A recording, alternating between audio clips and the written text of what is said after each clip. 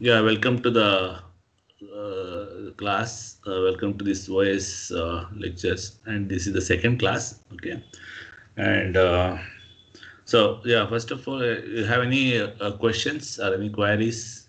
Because in the last class, just we the introduced the basics. We are in the basics still, but something like very briefly, we discussed about the different components of a computer at a very gross level, uh, and then how they interact. um, uh, basically, how the I/O devices will interact with the computer and all using uh, the interrupts. um. So those things we discussed very briefly, and uh, today we'll continue from that, um, and uh, we'll try to cover this introduction. Maybe today today's uh, two lectures as well. Maybe the uh, even the next week also we'll continue that. So with that we'll complete the uh, the introductory stuff related to these operating systems, and then we move on to the the specific topics. hmm, uh, related to the process management, man, memory management, and so on. So that was the the plan, and um, so today we'll continue the the lecture, the, uh, like the the one which you stopped earlier and all. Hmm. Okay, and uh, another thing is that uh, today uh, at uh, 11:45, uh, I have scheduled uh, the mock quiz.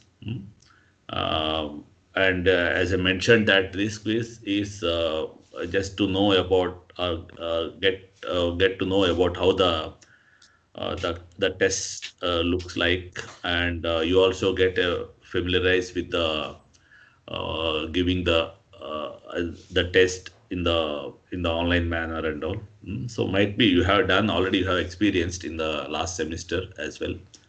Uh, but uh, and another thing is that uh, since the class strength is not stabilized uh, and that too had taken very first class, so that is another reason for keeping this test as a mock test and all. Mm. So that way, this test is not considered for grading, grading purpose, but still I request, recommend you that please take the test, don't miss it. Uh, you will get a feel for that, and uh, in the test, whatever the the mistakes you do, so that you can able to take care in the uh, the next uh, test and all. So that is one of the reasons for that. So please, uh, all of you, please take the test. While take while taking the test, don't leave the meeting and all. So you please take the test through the Teams only in the meeting by attending the meeting and all, so that so whatever the announcements were made, so that you can able to uh, uh, listen to the, those an- announcements and all, like like the the last uh, the due time uh, when you are su- supposed to submit, so those things and all. So that therefore, while uh, taking the test, be in the meeting. Don't leave from the uh, this general channel and all. And already the test was posted, but anyway, it will open. You can able to open it. You can able to answer that only from 11:45. So I have given a 15 minutes time and all, but uh, as such, uh, this test will not take much time, maybe 10 minutes maximum. Okay. So that's all about the the mock test and all. So uh, let us uh, move on to the the class lecture. And as I mentioned that since it's a two hours class, we'll take a break in between for five minutes. Hmm. So let me uh, stop the lecture at some at a, a logical uh, end point hmm, so that we can start the next one later on. We'll take a break of five minutes. Okay, so uh, so let me start. uh, if you don't have queries, so let me go to the presentation slides. Uh, excuse me, sir. Yeah, yeah, please. Uh, sir, in one of the previous slides, you mentioned that, uh, like, it is mentioned that the one program running at all times in the computer is the kernel. So, what exactly do we mean by a kernel? No, no, it's not running means actually mean to say is that most of the times it used to uh, like executed by the CPU and all. That's what I mean. The kernel is nothing but the the programs, all the uh, the programs where that used to manage the these uh, the resources like I/O devices and hardware, whatever. So all of them. So it used to have like uh, like managing or providing interface provide and uh, um, like connecting that uh, for the given program, given process and all. For that purpose, like as and when uh, today in the class uh, today, uh, we'll take an example and then you can able to see that uh, for running a program, one simple program, just for copying a file, for example, you can come across that actually how many times uh, uh, that uh, operating system need to be called, or you can say that the kernel routines used to be called very frequently and all. Just for simple command like copying a file from one file to other file. So you can able to see that actually how many system calls. System calls are nothing but uh, operating system uh, codes, operating system programs and all. So how many times that used to be called. So with that, you can get some idea about. So when you're running a program, normal user program or any application program and all. So uh, like at what frequency or at how frequently the operating system will be utilized for running the application program. So in that context, I mentioned that all the time and all. It's not that all the time means uh, it's not the entire time and all. It's like most frequently uh, you you can come across the operating system routines. That's what I mean by that. Hmm? Okay. Okay. Yeah, right. Okay. Yeah, next we move on to these things. Uh, like, yeah, in the last class we discussed about these things. I'm not going to the details of that again. Yeah, this we had discussed like uh, how these uh, various peripherals will interact with the CPU and all. Like uh, whenever, whatever the task that was given to this peripheral when it is completed, how they interact with the CPU. So it way by using the interrupt, that's what we have mentioned. Like um, like because CPU is executing some program and uh, the IO is uh, the IO devices, some uh, data transmission, uh, data transfer takes place uh, from IO device to the device controller and so on. That way it's happening. May, may happen parallelly, simultaneously. So in that case, uh, when the, like, for example, whatever the IO device task that is completed, at that time, it has to in, inform to the CPU. So in that case, it makes use of the interrupt and all. So then uh, how it, uh, then after that, how the CPU will react to that. Hmm?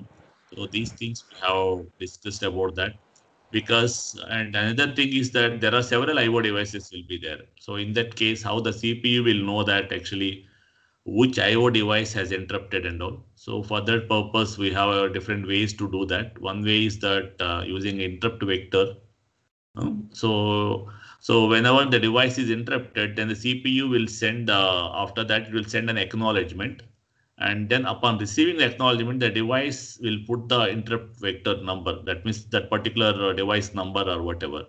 So then the CPU will see that, and uh, that is the nothing but the interrupt vector and all. Like suppose, for example, you have some hundred devices are there. So the device will be numbered like unique way, like one, two, three, and so on. So suppose device 53 has interrupted, has sent an interrupt and all. So then the CPU, when it, after that it sends acknowledgement, interrupt acknowledgement through a bus, and upon receiving the acknowledgement against to that immediately the that particular device which has interrupted it will just put its number like device number and all. So that is nothing but your interrupt vector. And with that, the CPU will realize that the device 53 has interrupted and it has to provide the service to that. So that way, this interrupt vector is again indexed to the a table in the kernel, like uh, where there are, as I mentioned, suppose there are 100 devices are there. Each device has its own way to be serviced. So therefore, for uh, for servicing the each device, there is a separate uh, kernel routine or like IO routine, IO service routine will be there. So all these things will be uh, put it in a tabular format table, and this table was indexed by this interrupt number. So that way, so whichever the device has interrupted, then the the then by using interrupt vector, the CPU will come to know that uh, which service routine has to be which interrupt service routine or which interrupt handler has to be uh, serviced. Mm, so that way it will come to know that and the corresponding service routine will be executed. And with that, whatever the, the device data, whatever is captured and also it will be transferred to CPU or from that CPU will be transferred to memory or whatever. So that can be done. So, and again, these details, uh, whatever I'm saying, the interrupt handling and uh, all these details and all, uh, it will be dealt more clearly in the your uh, architecture part later on, actually. And uh, that way, uh, the devices we have seen, the hardware devices, how they interrupt the CPU and all to carry out their service whenever they have fulfilled the task and all. And the same way there is uh, uh even the uh, the CPU will be like the the the user programs also will request the the the operating system service. So that will be done by using that known to be trap or exception, and this also known to be software interrupt. So the interrupts, whatever we just mentioned, like uh, the devices, IO devices and other things, and those are not to be hardware interrupts. It means that basically the hardware will uh, uh, interrupt the CPU to perform its, to carry out its service, right? So then the same way the user programs when they run, so they also need, uh, yeah, right. Look something.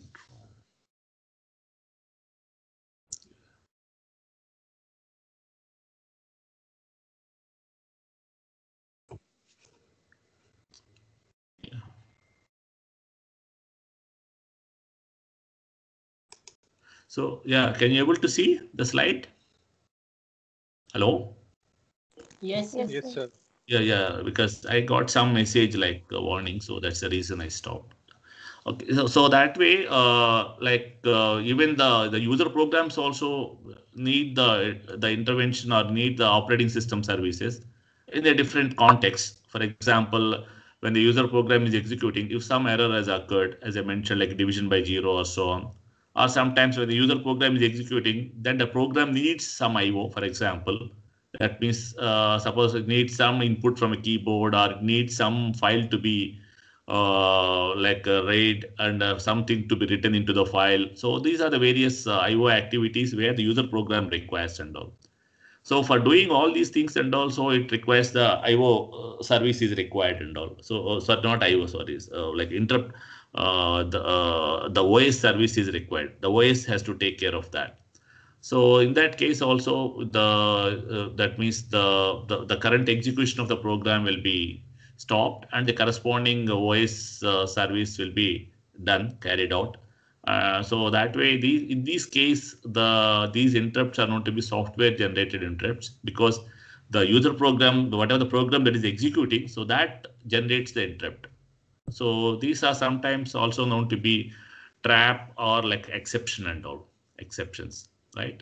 And uh, so these are basically the software generated interrupts and all, either due to the like uh, some malfunction is happening or some uh, like uh, the error is going to happen while executing this particular program or the program itself needs some IO, right? So in that case also the current execution will be stopped and the corresponding uh, like service routine, uh, OS service will be taken care. And yeah, as I mentioned that, yeah, this is we discussed. For example, if interrupt occurs, then how does the CPU will know that actually which service routine need to be executed and all. So there are different ways. One is the using interrupt vector where uh, the device will put its device number so that acts like interrupt vector. So with that, uh, the corresponding interrupt service routine will be executed. And another uh, way is that kind of a polling, as I mentioned that uh, here. So whatever the devices were there, each device will contribute a single bit in the bit sequence, like in kind of a bitmap kind of a thing. So if none of the devices is uh, interrupting, so in that case, all bits will be zero. And suppose if any device is uh, interrupting, uh, send the interrupt signal and all, for that particular interrupt uh, bit will be set to one. So that way, the CPU, the other way of uh, uh, knowing the, uh, the the device which is interrupted, the CPU can just it will just scan that bitmap, the sequence of bits and all. So whichever the bit position is one, it indicates that a particular device or the particular uh, device is interrupted and also with that the corresponding uh, service routine will be taken care. So that is not to be polling. It means that here the CPU after uh, receiving the interrupt then CPU scan the the bitmap. It just poll the bits uh, of the sequence of bits, and then whichever the bit is one, that indicates that the particular uh, the device is interrupted and corresponding service routine will be taken care. It's not to be polling. So there are different ways and all, but uh, just these are the some uh, some of them were just as a uh, exemplary uh, purpose we have just uh, discussing here. And uh, yeah, as I mentioned that uh, after knowing that, then the separate segments of code uh, will be determined and what action to be taken against to that particular interrupt. So that will be done based on that interrupt service routine. Yeah, the, the next thing is here is that actually this particular chart uh, diagram uh, indicates that actually how the CPU and the IO devices will execute uh, with respect to the time. So here in this the the the plot at the uh, in the upper portion, the top. So here you can able to see that uh, this upper portion has the the two levels. Uh, one is uh, the, the here the level uh, that means the upper one that is the pulse the positive amplitude uh, you can say the, the higher one which indicates that the user process is executing the user process is executing and then here the pulse, the lower amplitude, or can say that uh, this negative one, you can say that if you assume that this is zero reference, this is negative one. So these pulse, these negative pulses, uh, those things are indicating that the IO interrupt processing. That means when uh, some device is uh, sending a request, uh, the interrupt request and all, then that interrupt service routine execution is indicated by this negative pulse, the duration of this negative pulse. And then once this interrupt service routine is over, and again the CPU will start executing the, the normal user process, like the next process, whatever. And then after some time, suppose when interrupt occurs again, it uh, takes care of the interrupt service routine. So therefore here the in these two figures, the upper the top figure uh, where the the amplitude is fluctuating between the two levels, and in that the higher level indicates that uh, the CPU is executing the user process and the lower level indicates that the CPU is executing the the IO uh, some interrupt.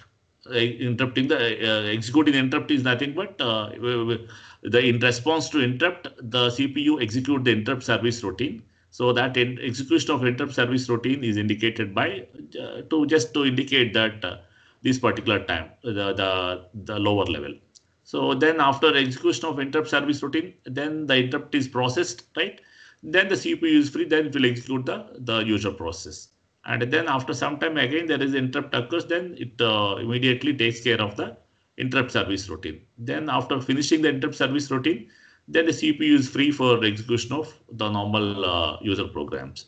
So this timeline uh, between these two levels, just to illustrate that uh, one level is meant for uh, uh, indicating the, the user process execution and the other level is uh, indicating the um, like the OS routine or interrupt service uh, execution and all. And coming to the, the bottom plot where this, this also has a two levels. And here these two levels are indicated by one level is indicated by idle. That means IO device, there is no activities taking place in the IO device. And uh, the other level indicating that some data transfer is taking place. So in IO device where the data transfer takes place, because you have a device, and then for controlling the device, each device we have a device controller will be there. Suppose for example, you have a keyboard.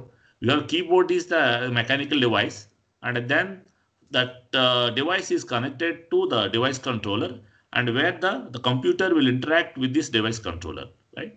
So, uh, so here the in the IO device, the transferring of data, the data communication means from the device to the device controller. So here in this plot, actually here the, the, the, the level, the bottom level indicating that the data transfer that is happening in the IO device. And uh, the level, the upper level, or you can say that the higher level indicating that the there is no activity at all, then the IO device is idle and all. IO device is idle. So that way, this particular plot indicate is fluctuating between the, the activity of IO device. And you can able to these vertical lines indicating that some event has occurred. Suppose uh, the IO request has occurred, for example, the IO request has made. Then till that point, there is no IO activity at all. When IO request is made, then accordingly, the the that the the as per the the request, whether it's a read request or the write request, whatever, so the corresponding activity will takes place. Corresponding activity will takes place between the device and a device controller.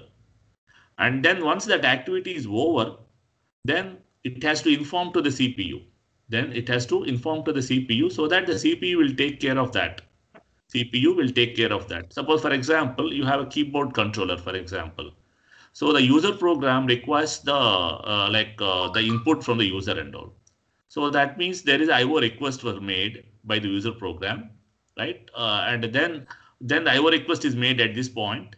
Then uh, it means that actually the the OS will uh, uh, place the corresponding status information through the device driver into the device controller. Then the device controller will come to know that there is some data that is uh, about to given uh, the user will supply, and you need to capture that data, capture that uh, particular keystroke or the character or whatever. So that way here at this point of time, the IO request is made by the user program. And then subsequently, uh, the corresponding uh, operating system routine uh, or the device driver and all, it will place the desired control information into the device controller.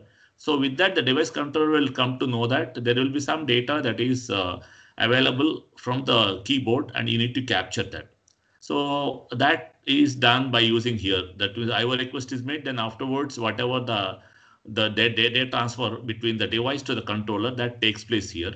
And then once the data transfer is over, that means once the data is captured, then the device control is ready. That means data is now available. So that will be informed to the CPU.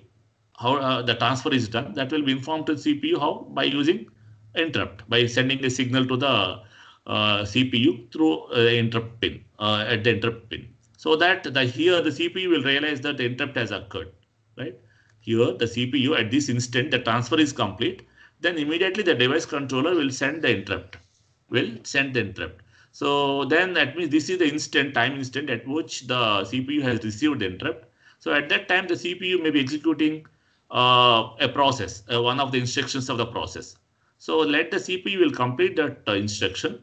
And after that, the CPU will, after that, the CPU will take care about that interrupt. That means whatever the interrupt that has arrived, it has to service that interrupt. So that will be carried out here after this one. So at this point of a time, the CPU may be in the execution of some instruction of the user program. So then after finishing that instruction, then the CPU will take care about the uh, this particular interrupt. That means the, the corresponding interrupt service routine will be executed. That's what IO interrupt processing. It means that this one. So this negative small pulse. So during that time, the interrupt service routine will be executed and uh, then the, it means that with that the OS routine or the device driver will uh, uh, will uh, capture the input from the device controller. That means the CPU will get the input from a device controller, and then it has to pass on to a memory or whatever. So that will be done here during this interval. And once this interrupt service is over, then again the CPU will take care about the user programs. CPU will take care about the, the user programs and all. Take care about the user programs. And here again, uh, and here once this uh, transfer is complete, then the IO device will send the uh, interrupt and afterwards it is free. Afterwards it is free, like it is idle. Then upon again the next IO, inter IO request, upon again IO request, then the, the IO device will perform the transfer, the IO transfer here. And then once the transfer is again done, so then again it will inform to the CPU. So when it requests the CPU, then the CPU will complete the current instruction and then it starts uh, execution of the, and then it starts the, the, uh, the, the interrupt service routine will be carried out. So that way, uh, the, by using this uh, time chart, you can able to see that how the IO device and the CPU will uh, coordinate to perform the, the IO activity and all. Uh, and then the coming to this, uh, yeah, when you perform this IO, there are different ways. Earlier, actually, if there is a non-interactive systems and all, and if the time is doesn't, uh, uh if the multi-programming is not that uh, much is not that much essential. So in that case, if IO starts, that means when IO request has come, when IO starts, then when the program needs IO, at that time, uh, uh, that time then the CPU will uh, then the user program starts waiting for IO. It means the control and then the program will be waiting for IO, and then the control returns to the user program only upon the IO completion. So till that point, the CPU will be keep on waiting for completion of IO, and whenever the IO completes, at that time the CPU will take care, and then the user program will be wherever it stopped, it starts running from that. this is like not in the context of multi-programming and all. In the case of multi-programming, where when the IO request occurs, and then when the IO starts, that means when the operating system takes care of that, and then the, the IO is initialized to the device controller and all. Then after that, immediately the control returns to the user program, and then the the CPU will uh, carry out the the user program, some other user program right? So that way, the uh, like for that actually we will make use of the system call. System call is nothing but uh, uh, the that means uh, taking help of uh, the OS routine because the user the user program requires the the IO that is some input or some output whatever. So in that case, uh, it, it is it will be carried out by using the operating system. So therefore, the system call will be initiated and then uh, the system call will see that uh, which IO is required. And based on that, the corresponding device table. Like uh, for each device, it maintains the, like uh, all devices, they maintain the kind of a table, device status table. So in that, with respect to that uh, table, a particular user program is request inter uh, it request the IO for a particular device, then it will uh, add that to in that table. The corresponding interrupt request will be added to that. Suppose the device is busy, already some requests are pending, then it has to be waited wait till that the, the preceding request has to be carried out. So that way you can able to uh, uh, the IO will be taken care and the there is another uh, way of uh, data transmission between the the IO devices and the memory, and this is known to be direct memory access. So here, uh, if you see that whatever we have seen, um, uh, for example, if there is some high-speed uh, IO devices uh, where the data transmission or the, you need to have a data transfer, instead of uh, small uh, like uh, small amounts of data suppose you need to have larger amounts of data that need to be transferred for example. Suppose for example you have a user program where it requests uh, some file uh, some file and where that file is there in the disk for example. And the file size is also reasonably larger. And you need to bring that file from the disk to the memory so in that case, actually, if you want to go by the normal way of uh, data transfer, it means that the CPU has to take care about like uh, for every byte transfer or for every word transfer, the CPU has to intervene. That means uh, using that uh, the registers, the device control registers and all, first uh, it has to fetch to the CPU, then the CPU has to place it into the memory. So it means it takes a lot of time. And not only that, the CPU will waste, uh, CPU will, uh, for every byte transfer, for every word transfer, the CPU has to intervene. So that is fine for small amounts of data. Uh, like for example, one word, two words are like a, a few bytes of data, it's fine. It, it, can able to do that. But if you have larger amounts of data that need to be transferred, and uh, for every uh, for every access, for every word access, if you want the CPU intervention is required, it is very uh, the CPU time will be wasted with this data transfer itself most of the times. So therefore, there is another way to handle that. It's known to be the direct memory access. So here the idea here is that if there is, if you want to transfer a large blocks of data from, for example, from a disk to a memory, for example, in the normal way is that actually from the disk, first of all, the disk controller will fetch the data from the disk from uh, from uh, whatever the file you are requested so that has to be fetched by the disk controller from the disk, right? So disk is nothing but it's in uh, like you have a hard disk where we have uh, tracks and then the sectors will be there. On that sectors, the data will be there in the form of a blocks. So first of all, you have to fetch the data from the disk controller. Then afterwards, from the disk controller, the CPU has to read and again the CPU has to place into the memory location, specific memory location. So it needs a lot of time that is uh, takes care of uh, like for every word transfer, you need to have minimum some 10 to 15 instructions need to be executed and takes a lot of time. So to overcome that, you have another uh, way of uh, accessing a data, uh, data uh, transferring a data between the uh, like high-speed IO devices and memory. It's known to be direct memory access and all. So in this case, actually from the name itself, the CPU will not intervene for every uh, byte transfer or for every word transfer and all. CPU will not intervene in this transmission for every word transfer and all. So for, for example, here the idea here is that very uh, gross way.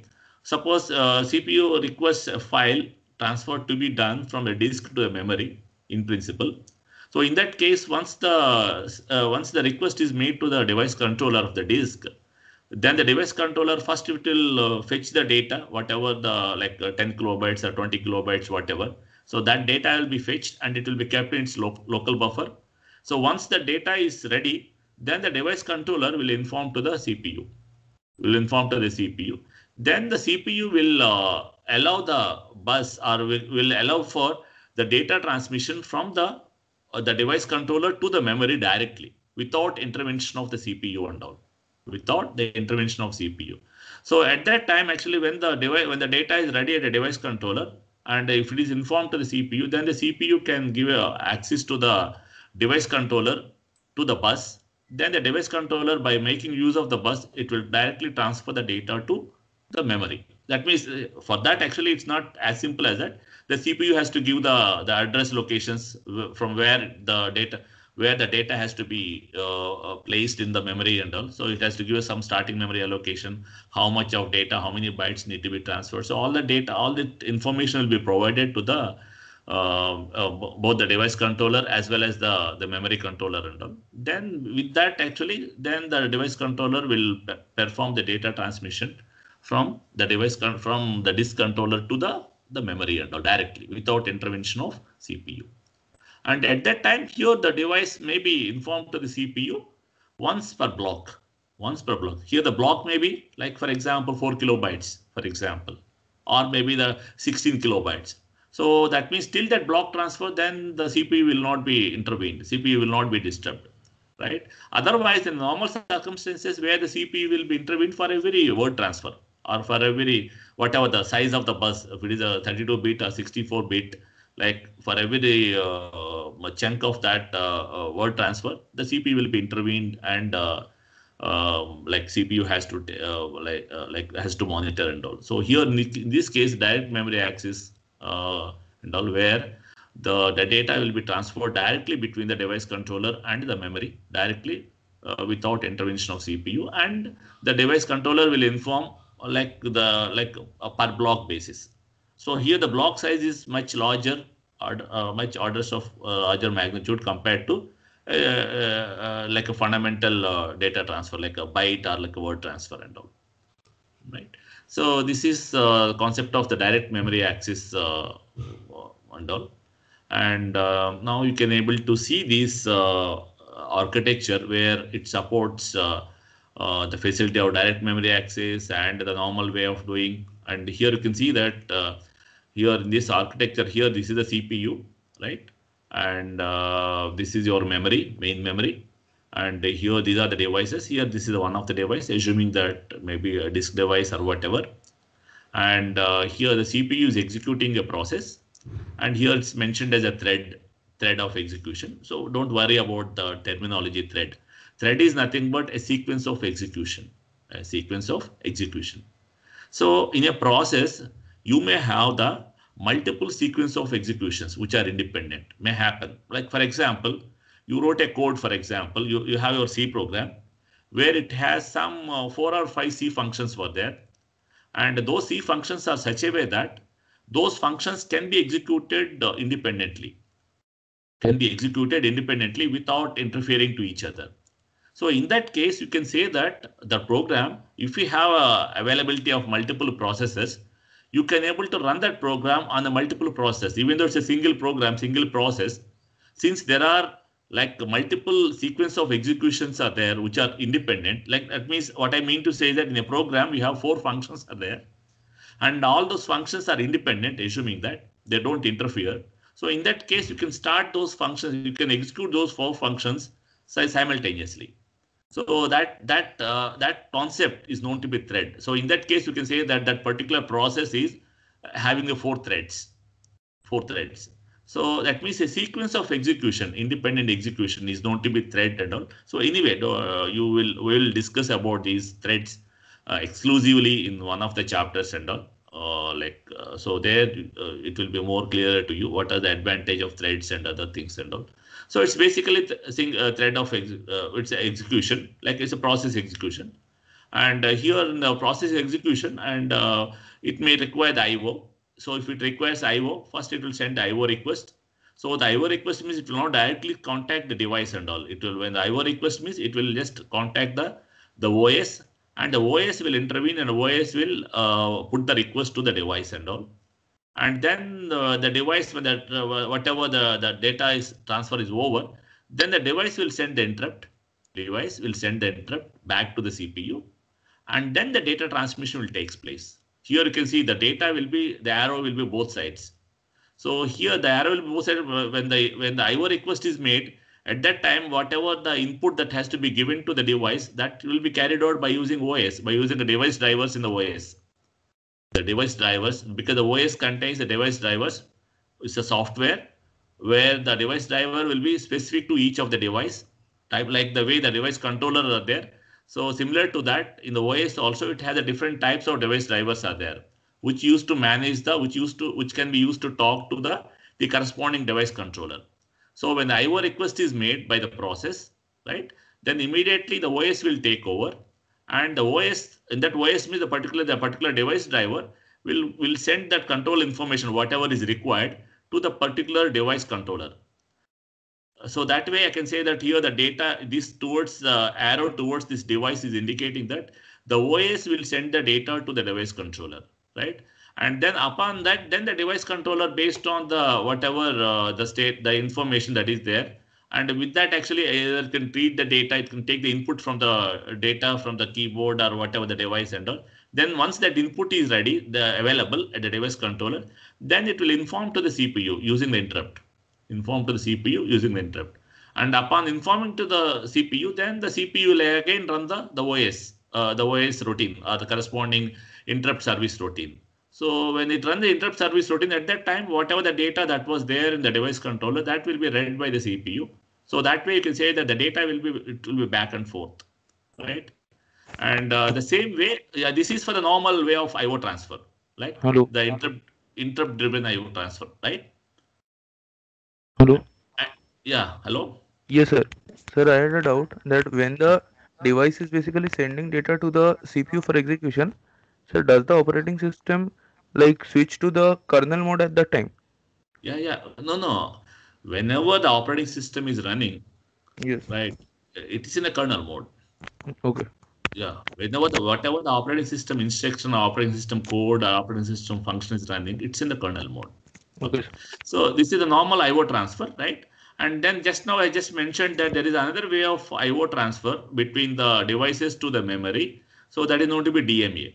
So uh, when when if if you want to transfer a large chunks of data between the device to the memory, for example, as I mentioned, like you need to transfer a file from a, a disk to hard disk to the memory. So in that case, the based on the file size, it has a large amount of data need to be transferred. So in that case, it's better to use the DMA. You can use the DMA. That means direct memory access. So with the direct memory access, you can able to transfer from either side, from the memory to, from a disk to the memory or memory to the disk. If you want to write something into the uh, disk, for example, uh, you want to remove the file, for example, or otherwise uh, this file you want to write something here and all in the in the in that file. So after writing that, this again the content has to be placed into the device also. So that way, the DMA can be done in the both the ways. You can read and write. So this is the di direct memory access, right? And then here there's a cache. This will uh, discuss a bit later. The cache is, is, nothing but a small amount of uh, buffer or memory, uh, which is very fast. Uh, where that is the reason that it is attached to the CPU or like part of the CPU also, where the CPU can able to access these uh, memory locations very fast compared to accessing the the main memory. It's uh, like order of differences will be there. Suppose for accessing the the main memory, if it takes about 100 nanoseconds, and for accessing the contents of the cache, it takes about order of uh, like uh, nanosecond or like uh, two, three nanoseconds. So that's the difference between the access time of a cache versus access time of the main memory and all. So that way, uh, nowadays, most of the processors, they have some cache memory and where uh, the instructions that are uh, to be executed in a very short while or uh, in the future in a very uh, so those instructions will be placed in the cache and then uh, the CPU, whatever the instructions required, first it will check with the cache, and if it is not there, then only it will go for the main memory. Uh, it will uh, check for the main memory, access the main memory and all. So that way here, and again, as you know, that CPU will interact with the memory. Uh, so therefore, that there will be data movement between the memory and the CPU. So both the directions and all. Because CPU will take uh, data from the memory, like it will fetch the instructions and the data also. And then at the same time, it will also write into the memory also results or whatever and all. So that way, this is the the the basic architecture of a the way with respect to the data flow.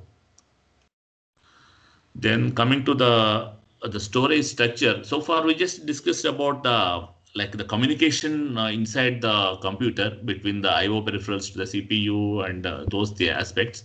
Now we'll just discuss about the different uh, um, the storage structure or like you say that uh, different uh, ways how the the data or the programs and where they are stored and all. So you have the in the storage structure there are different uh, types of storage in a at a different levels. we have seen already here in the previous diagram where we have already seen the the storage in, at two levels. So one is at a main memory, like we can say that uh, this is the memory where the CPU can have access. And then along with that, there is another memory known to be cache memory, which is the size is small and the speed is the access time is very fast here. And the cost wise also it is expensive. So here you can able to see that there are two types of memory. One is the cache memory, and another one is the main memory and all. So here these two are differ uh, or the characteristics are different with respect to the speed and the size and so on. So likewise, you have the for uh, storing the data and all, you have the the, the storage, uh, the memory will be there at a multiple levels and all. So we'll see that. And the main memory is the one where the largest uh, the largest storage media the, where the CPU can access directly. CPU can access directly the main memory and all can can do that and the main memory usually will do a random access. It means that random access means suppose the main memory size equals to, for example, you have about uh, 12 GB, for example. So it means that uh, 12 GB means there are about uh, uh like in principle like a 12 G, 12 into 10 power 9 locations, memory locations, where each location holds a byte. So it means that in the random access means here for for accessing any of the location, like in principle it takes the, the the time to access any memory location will be same will be same it's not a sequential access it's not a sequential access suppose if you take some other medium suppose when you take a tape for example magnetic tape tape or some other thing where the access is a sequential one. That means here you need to access the tape like sequentially so that uh, you reach to the particular point where the file is available. But uh, whereas here in case of main memory where the access is a random access, it means that so if you give a memory address, whether it may be at the lowermost address or the higher address or wherever, it almost takes the the same amount of time to reach to the to access that particular uh, memory location. That's what I mean by the random access. And it's a volatile. It means that uh, the contents of the memory are not uh, uh, uh will will be off or will be lost lost uh, when you uh, when you remove the power or when there is no power at all. So it's what mean by the volatile and all. That means the main main memory, the contents will be lost when you switch off. And again, when you switched on, again it has to load from the uh, like non-volatile memory, whatever is there behind that. So that this is the characteristics.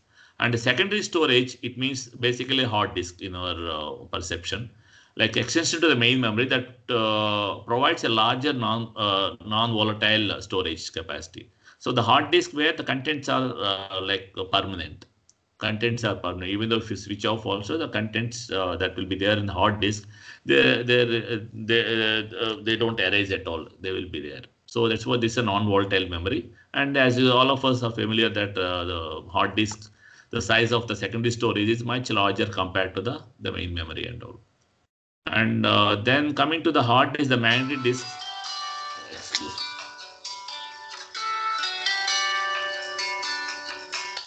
Ah, Pratap.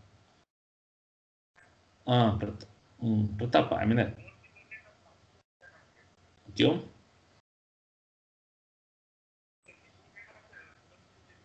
Ah.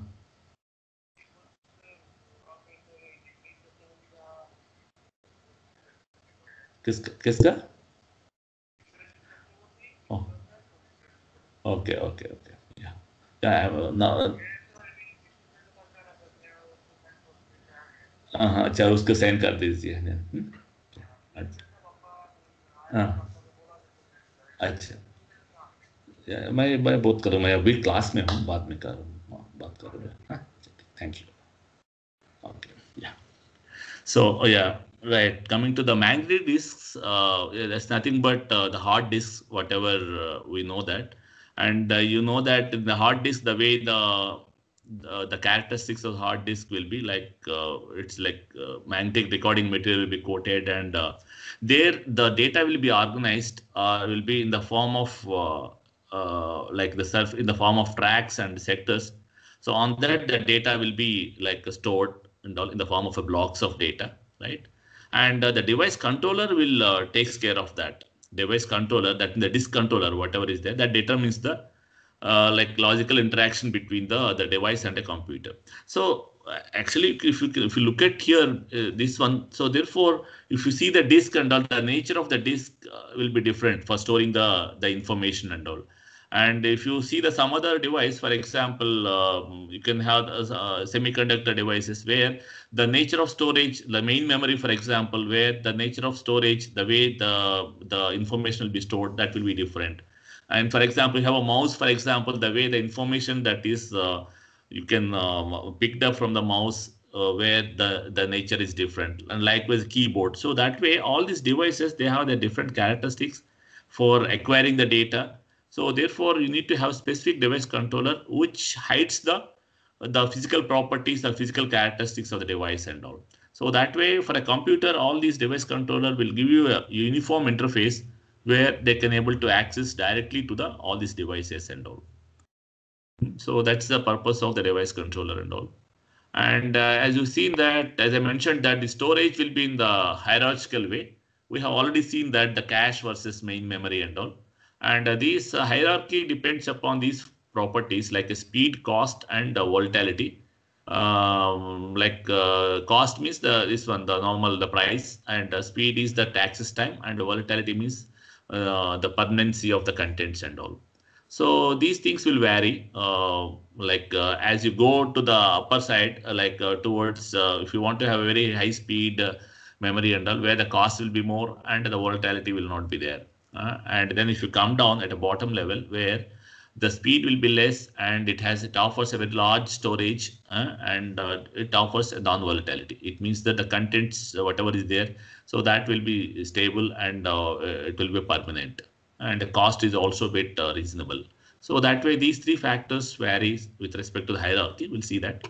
And caching, we have already mentioned the, the purpose of caching and. Copying the information into faster storage system for example, a main memory can be viewed as a cache to the secondary storage, obvious, right? The main memory can be viewed as a cache to the secondary storage because you see the secondary storage, the, the volume of, or you can say that the size of the secondary storage will be in the form of terabytes, whereas the main memory, the its uh, order is in terms of like gigabytes and all. And uh, with respect to speeds also, like uh, for a disk access and all, you have the, the speed will be in terms of milliseconds, for example. Whereas if you want to access the main memory, the speed will be in the terms of like uh, tens or hundreds of nanoseconds. Mm? So that way you can use the hierarchy. Uh, you can see here. So this is the hierarchy of uh, the storage where it starts from the magnetic tapes to at the bottom side to the registers. That is registers are nothing but uh, these are the like um, the storage elements that are within the CPU, right? Within the CPU. And uh, so here from this hierarchy, you can come to know that the registers are very fast. That means CPU can able to access the registers at highest speed at uh, very fast with very low access time and all. Then the cache, then the main memory, then the other things like electronic disk, magnetic disk, and so on. So this is the way the memory hierarchy will be there. And then if you look at that, actually the properties, whatever I just mentioned, the speed, cost, access time, and uh, the like volatility and other things and all. So they follow based on this hierarchy and all. Right. Uh, yeah, as we have already mentioned that the caching and all, it's like uh, yeah, this is just very intuitive. Like you can use the caching at different levels and all, as I mentioned. Like you can say that uh, the cache that is there within the processor and the main memory. So with respect to main memory, that becomes a cache, and the main memory be, happens to be cache for the secondary memory. Uh, likewise, you can have at different levels uh, uh, the the the storage device, the storage uh, system that is uh, preceding to that happens to be cached to the the system and all. So that way you can view that, and the information that is copied from a slower to the the faster storage temporarily and then the faster storage yeah uh, the yeah the basic principle is that uh, if you want to access the data the cpu first check the the fastest uh, uh, device uh, the, uh, the the the place storage place. And then afterwards if it is not there then it will go to the next hierarchy.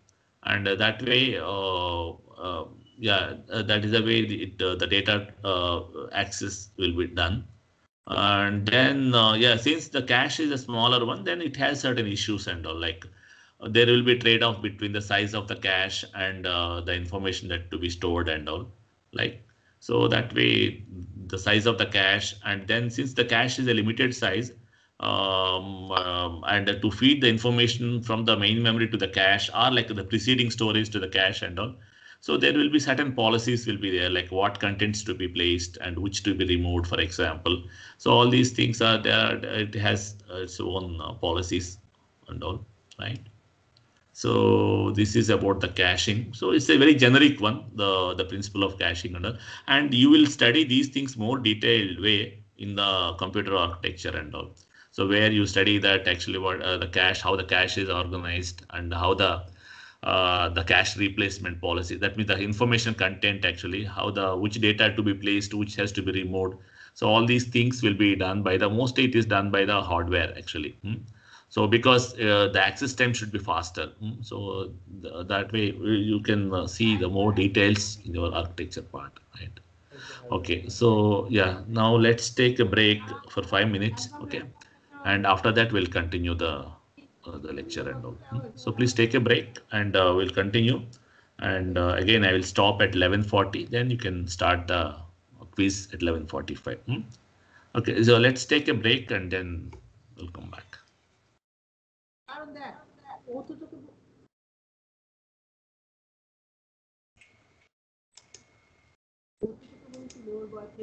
Yeah, let me stop the recording now and then again I will start later.